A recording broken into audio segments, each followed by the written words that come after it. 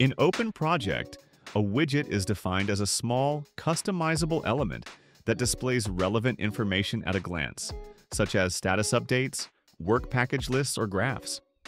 Widgets are available on both My Page and the project overview in OpenProject. To add a widget, click the plus icon and choose from the list. When you hover over existing widgets, you'll see a plus sign in each corner. Click any corner to add a new widget in that area. To move a widget, use the drag and drop icon.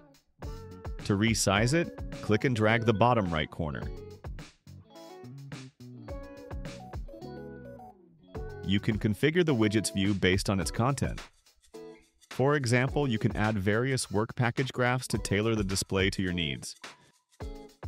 You can also configure the work package table views, for example, to include a baseline comparison, or to filter and group data in order to see changes since yesterday. Focus on work packages with a certain priority, and more. Use widgets to keep your workspace organized and tailored to your workflow. Start customizing your dashboard now.